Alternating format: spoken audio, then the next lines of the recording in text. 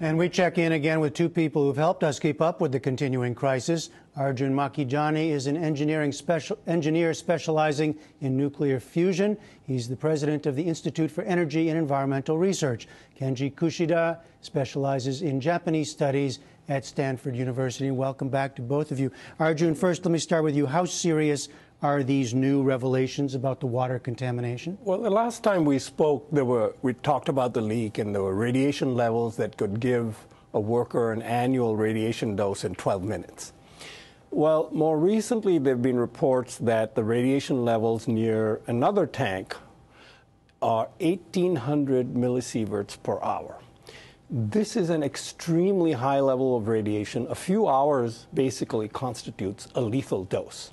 So now we're talking about radioactive contamination in these tanks, the, the liquid stored in these tanks, that are very highly radioactive. And so these leaks are extremely problematic for the workers and for management. And is this is this something they just discovered, or how, what what suddenly causes the much more serious amount of levels? Well, the best I can understand from all the confusing information there's out there is the first measurement was done with an instrument that only went up to 100 millisieverts and maxed out. Yeah. So now they're making more measurements and they're finding there are more contaminated spots um, and apparently more leaks. So I'm not quite clear what the company knows when, but the information is kind of dribbling out, and the government is clearly concerned that that uh, the situation is getting more out of control. Well, Kenji Kushida, you pick up on that because we yes, there's the company and then there's the government. Clearly, the government is stepping in with much more force now, right?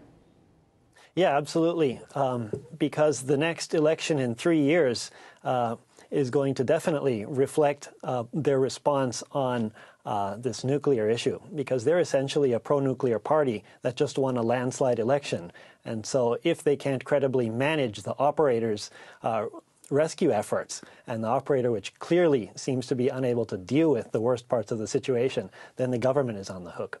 But from the outside, it looks like this is taking a long time to get to even the kind of uh, uh, understanding of the contamination levels that, never mind getting to a lot of the more serious work that still needs to be done. What's the sense in Japan, as far as you can tell, about the levels of, uh, of uh, I don't know, desperation or urgency there?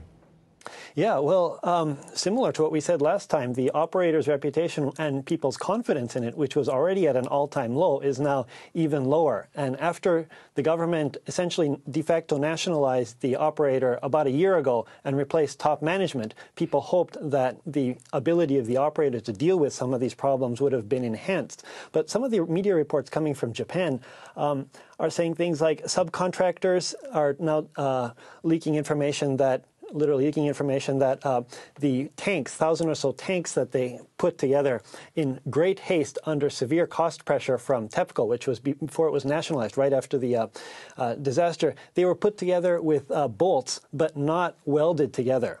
And so some of these subcontractors are saying, well, in the long run, you'd even medium run, you'd expect them to start springing leaks. So um, clearly the operator hasn't been on top of the situation, and people are getting fairly nervous about that. So, Arjun Makhijani, uh, explain this idea of the ice wall. It sounds strange. How, how exactly would it work, and, and how much has it been tried before? Well, I don't know that an ice wall like this has been tried before.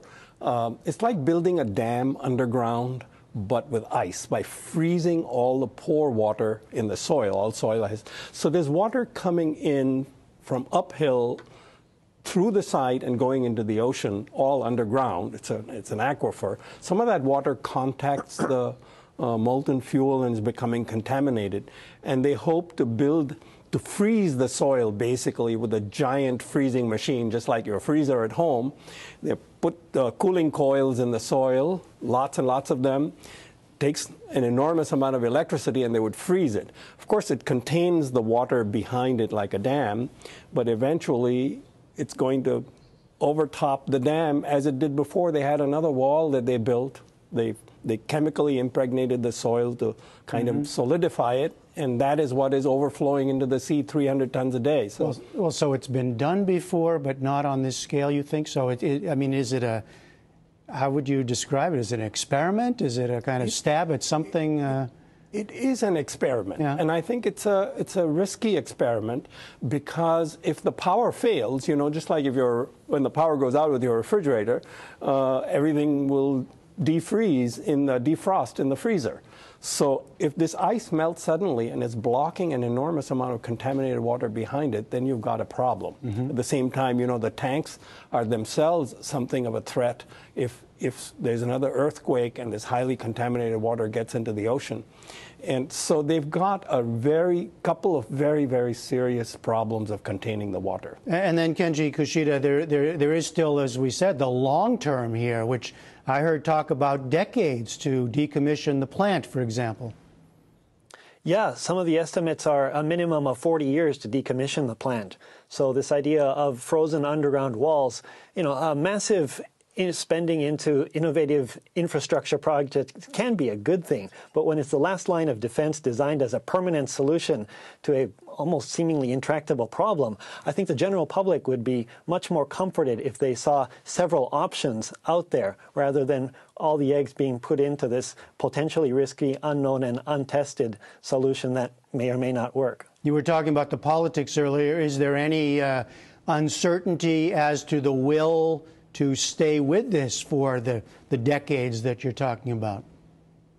Well, there's no choice. Uh, um, given that the party is pro nuclear and that they do not face elections for three years, their interest is definitely to do whatever possible. Uh, because if this gets truly out of hand in a much greater sense than now, then they will be, their heads will be on the chopping block in the next election. But they'd like to avoid that. That being said, the it's not like there's a set of technical uh, solutions that are easily possible here uh, that can be chosen from. So.